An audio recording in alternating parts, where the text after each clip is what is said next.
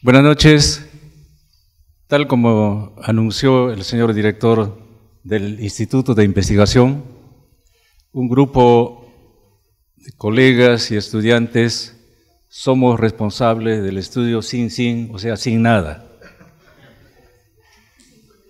Eh, este tema lo presentamos y acaban de comentarme también el caso del aula 101, donde en el patio principal hay concentración en determinadas horas de estudiantes y la simple conversación perturba la actividad académica en ese aula.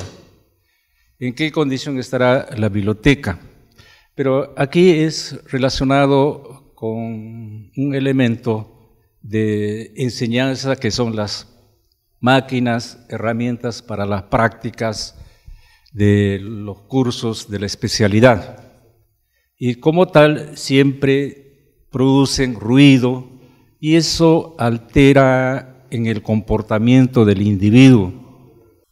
Entonces dice que hay un reporte de la Organización Mundial de la Salud y todos los especialistas tocan el tema del ruido, considerando que también es contaminante del ambiente, o sea, de nuestro espacio donde nosotros nos desarrollamos, vivimos. Eh, inicialmente yo tenía entendido que la contaminación ambiental era solamente a estos tres recursos naturales, suelo, agua y aire, o sea, con sólidos, vertidos y emisiones.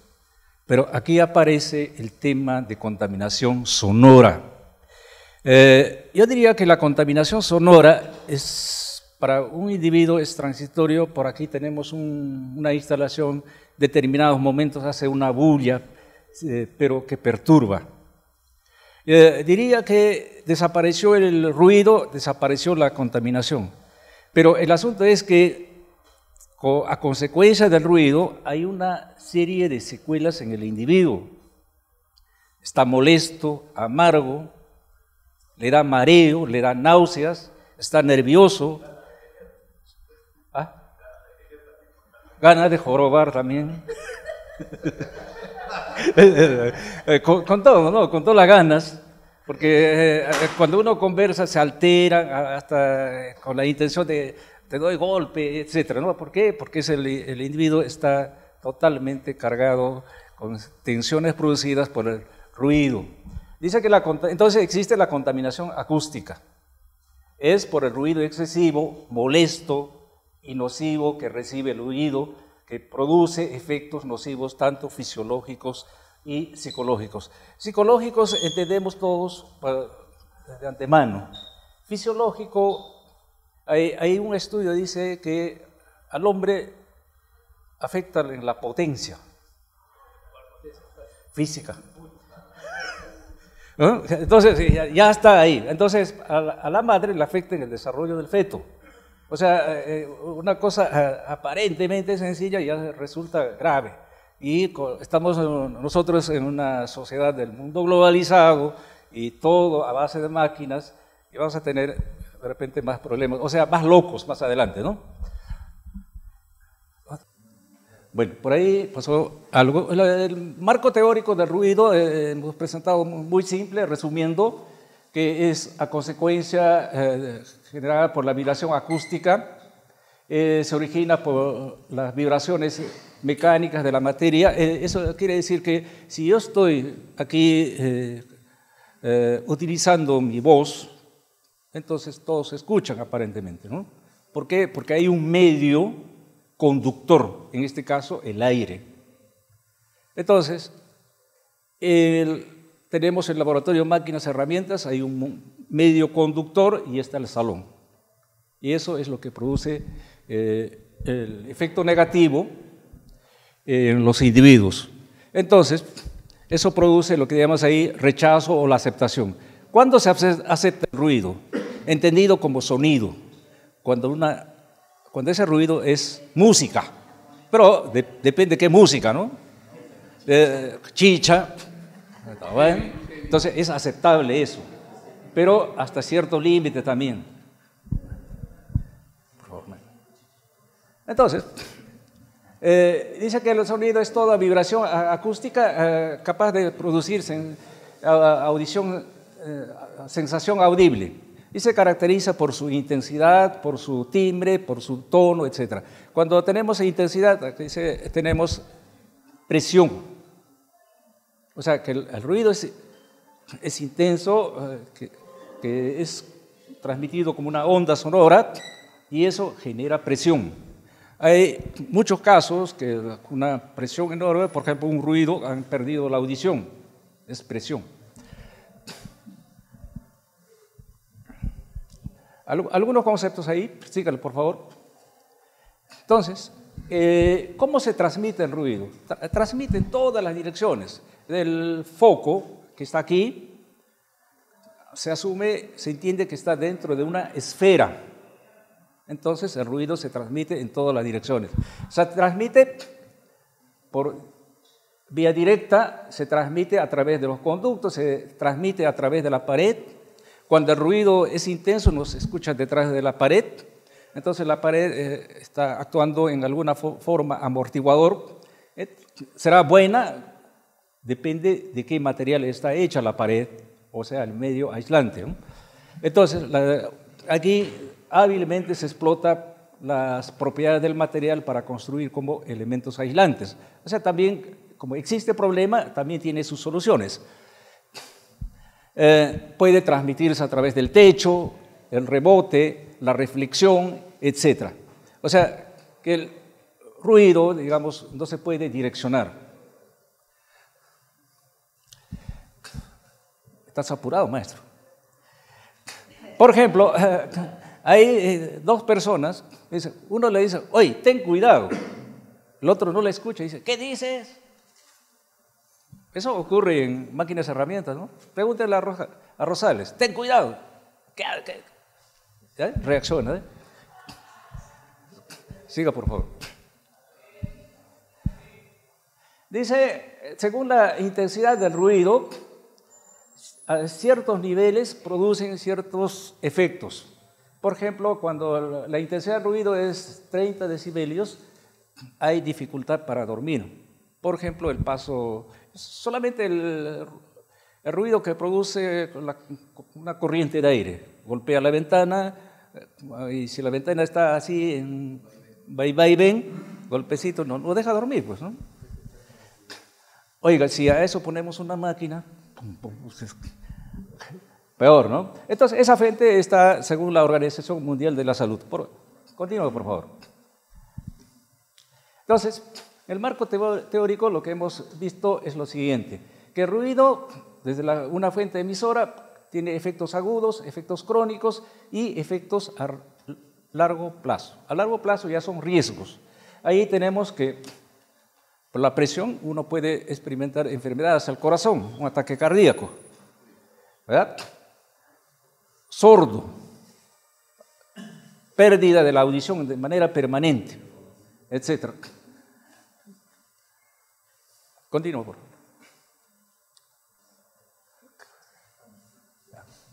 Eh, han hecho estudios acerca de la tolerancia del ruido en ciertos ambientes.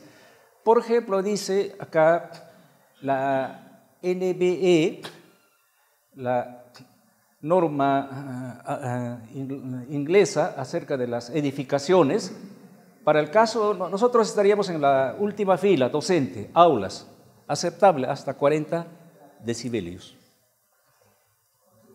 Sala de lectura, la biblioteca, hasta 35 decibelios. E, e, eso percibimos, todos todo los que entramos a la biblioteca, sentamos y comienzan a conversar, rápidamente se percibe ese problema. Entonces, eh, ¿qué debemos eh, tener? Que nuestra clase, o para nuestra clase, los salones no deben sobrepasar esos límites, para estar tranquilos.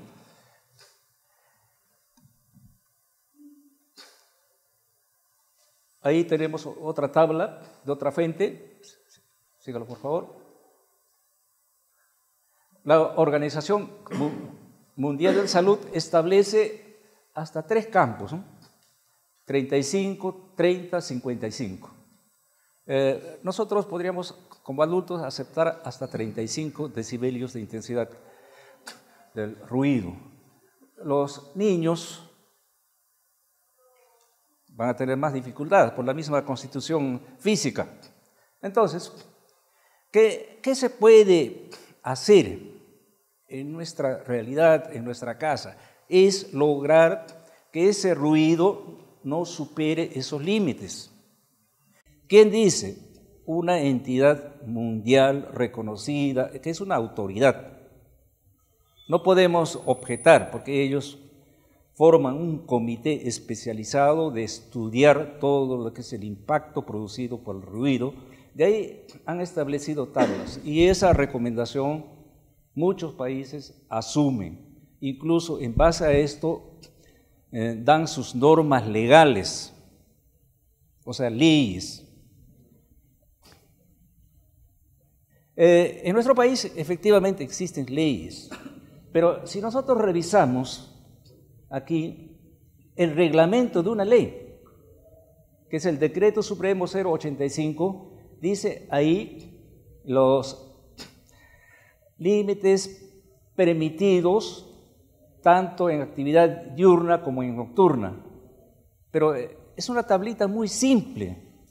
Nosotros, ¿dónde estamos? ¿En zona industrial, comercial, residencial o zona de protección especial? estaríamos eh, nosotros en la primera zona.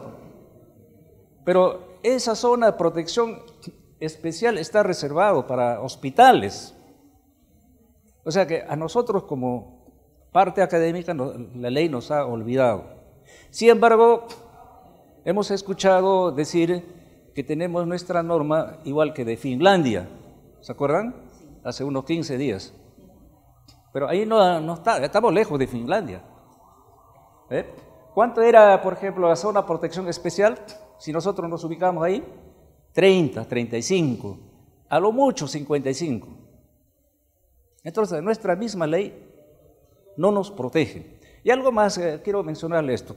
Las veces que vienen eh, acá, cuando la facultad convoca ciclo, cursos de capacitación, estos especialistas, por ejemplo, de la CGS, cuando uno se le pregunta de esto, nos dicen, sí, pues está hecho la ECAS. No, está acá el profesor Cancino. Eh, él tiene una anécdota interesante y me permito tomar, tomo la libertad de, resumir esa anécdota. Eh, su vecino dice hace bulla, no lo deja dormir. Va a la comisaría a quejarse. El comisario recibe y lo atiende, le escucha recomienda, oye hermano, múdate de casa. ¿Por qué? Porque solamente nos han dado esa ley de esa manera, pero ¿cuál, ¿cómo debe ser la parte sancionadora? No hay. Le da funciones a las municipalidades. Imagínense, dense la libertad de buscar qué municipalidades tienen ordenanza acerca del tema del ruido hasta hace poco tenía San Isidro. ¿Y el resto? Por eso que un vecino hace bulla, el vecino, ¿a dónde va a quejarse? Está vacío ahí. La municipalidad no puede aplicar sanción, porque no está normado, eh, eh, la misma municipalidad no ha normado. Esta ley es algo genérica, le da atribuciones, funciones a las municipalidades y al Ministerio de Salud. O sea, dice, cada uno hagan lo que puedan. Entonces, ya, por ahí ya tenemos una debilidad.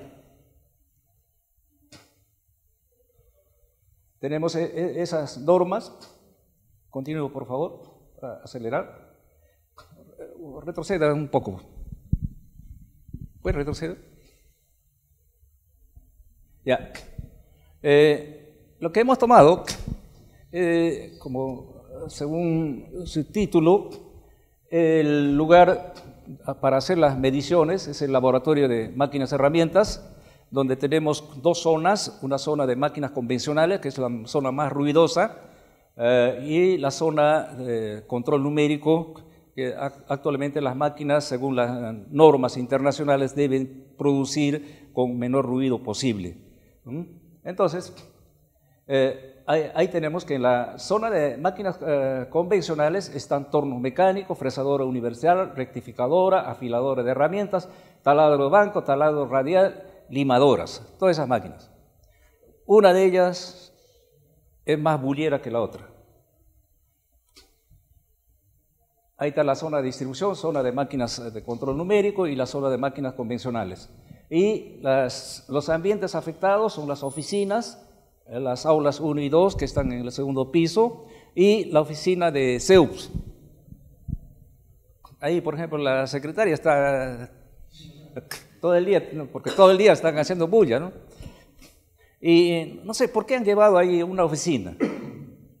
Es algo, algo, algo gracioso, ¿no? Tener una oficina ahí junto a la máquina. ¿Para qué es oficina? Para que la gente trabaje, produzca. Y no sé si, ¿cómo estará su productividad pues, de, ese personal?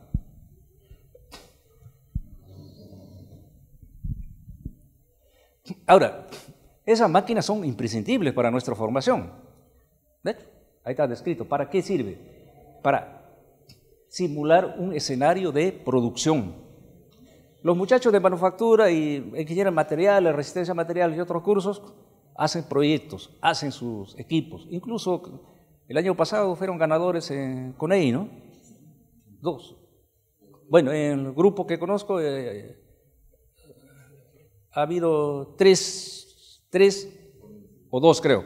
Uno en... Es que nadie está enterado, ¿no? Uno en Chimbote y otro en Piura. Luego, o sea, uno, dos, primer, tercer puesto, segundo puesto, primer puesto en Trujillo. Y el año pasado repitieron primer puesto. Todo relacionado con máquinas. Entonces, oiga, la máquina es necesaria, es medio de producción, no podemos cerrar tampoco, pues, ¿no? Entonces, ¿qué hacemos ahí? Prácticas, laboratorio. Cuando hacemos mecanizados tomamos el tiempo. ¿Para qué? Para hacer presupuesto, por ejemplo. Entonces, todo eso genera salud. Ese ruido no respeta edad ni sexo, ni la constitución física gordo, flaco, sienten el mismo impacto. Continúe, por favor. Ahora, ¿cómo está programado? Los horarios son diversos, en la mañana, en la tarde y en la noche. Matinet, bermud y noche. O sea, hasta completar la necesidad. Entonces, en la metodología lo que se ha hecho es realizar ese esquema, hacer eh, las mediciones, pero en principio no teníamos equipo para medir. Entonces lo que hicimos es, bueno, lo más fácil, hacer encuesta. Encuesta, eh, resultados de esa encuesta son indicadores, a veces nos manifiestan de forma sincera su verdad. Oye, me afecta, me siento mal. Entonces, el, primero se ha hecho una encuesta, por favor. Pero para eso se han establecido los eh, correspondientes turnos, ubicación de las estaciones de trabajo, qué están haciendo, etcétera. Están fresando, están torneando, están taladrando o soldando, por ejemplo. Continúo, por favor.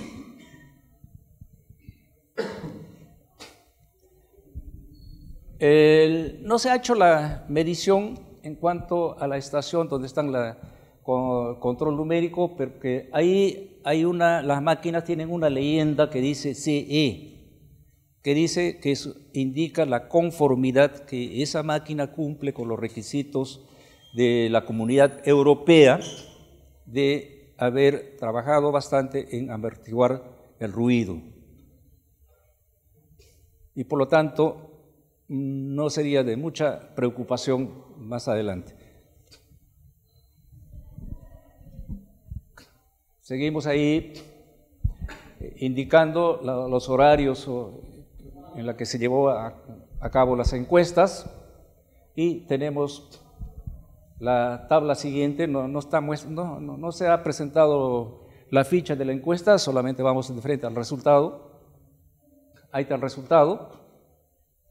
Eh, se ha considerado cuatro atributos, edad, grado de molestia que siente, si es afectado en su salud y luego cómo se siente en el estudio con la presencia del ruido. Ahí eh, nos dicen que están molestos, le molesta el ruido a mucha gente, un alto porcentaje, cerca de 35%, muy molestos, algo molestos, o sea que le molesta el ruido, 25%, y así. Y otros no sienten nada, por ejemplo, jefe de laboratorio no siente nada porque no para ahí, ¿no?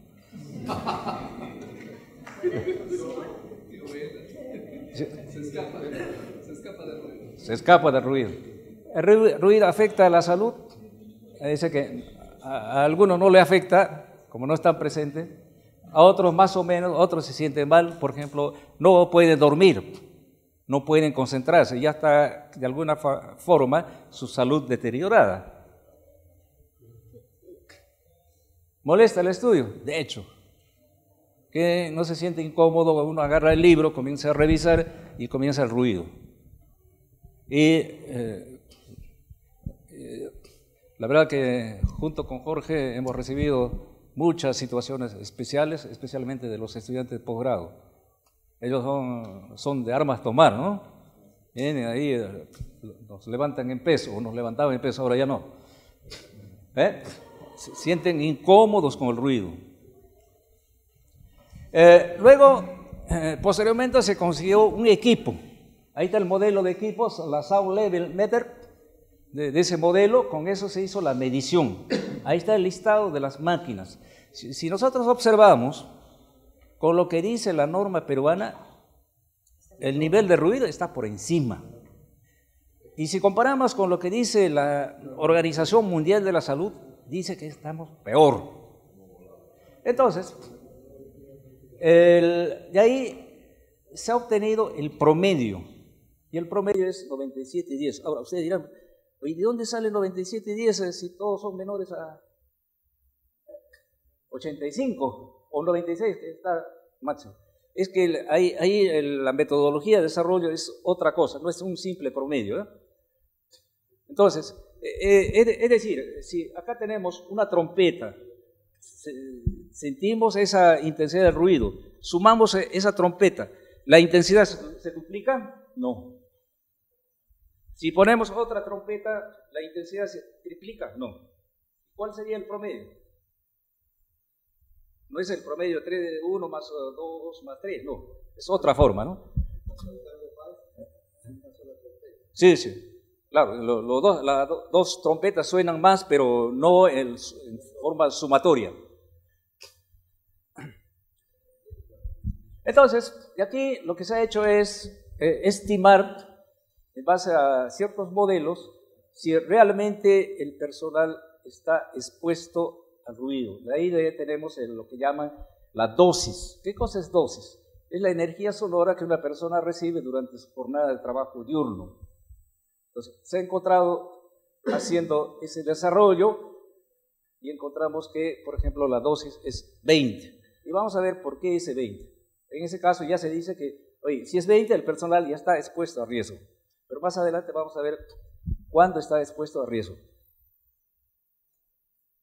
Ahí eh, se ha ordenado en forma eh, creciente eh, la, dosis, por ejemplo, el torno 1 es el que menos afecta. En comparación, por ejemplo, con la limadora o rectificadora. Más adelante va a estar en orden ascendente. Continúe, por favor. Ahí está.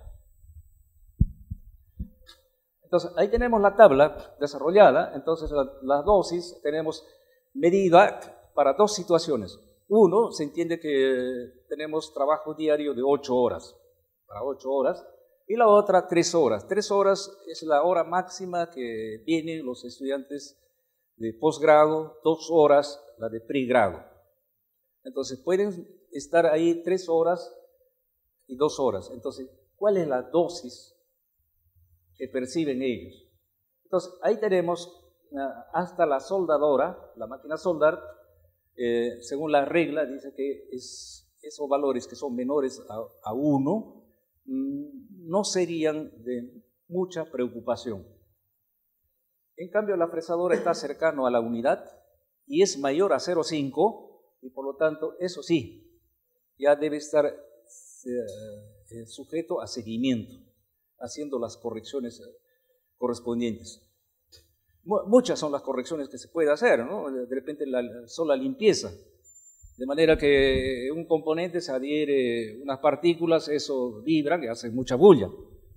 Eh, lo que sí hay que preocuparnos es por el taladro radial y la rectificadora. No sé si han notado, los que han entrado ahí, cuando hacen funcionar el taladro radial sale como un pitido. Entonces, esa intensidad es altísima. Continúo, por favor. Bueno, ahí, ahí tenemos los resultados, el comentario de los resultados. Continúo, por favor. Eso es lo que decía. Eh, cuando es mayor a 1, acá está la dosis. Ah, los que estudian, por ejemplo, 3 horas, 1.19, la dosis. Con taladro radial. Rectificadora, que afortunadamente ese equipo funciona eventualmente. Rectificadora, ah, como es este trabajo para acabados finales, como no se hacen piezas de precisión, con poca frecuencia se utilizan. Eh, la que sí, el asunto es con la fresadora, que está cercano a la unidad. Entonces, eso, repito, debe ser revisado. Continúe, por favor.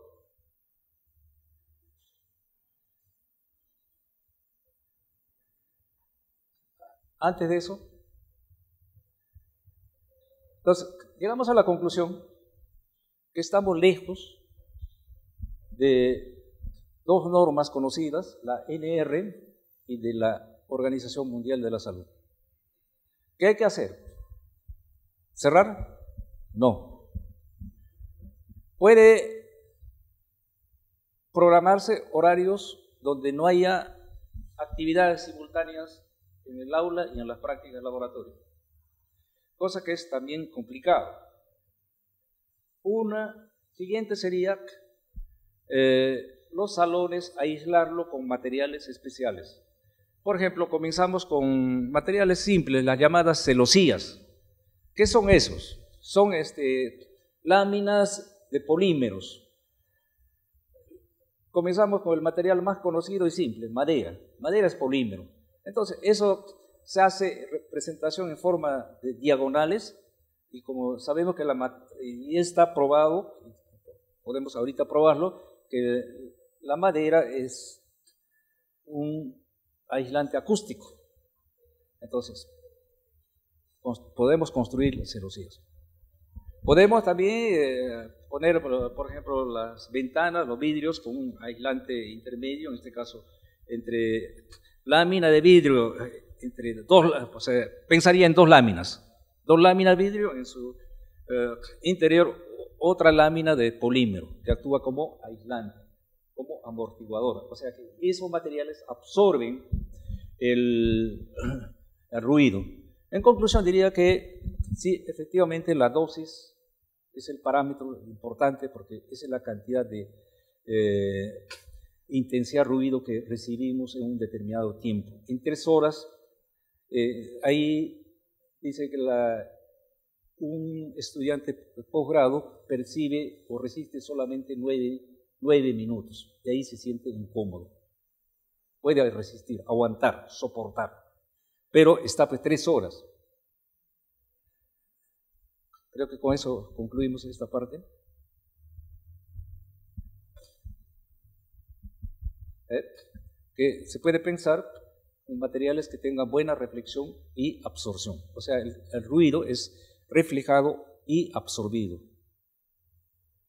¿Correcto? Gracias.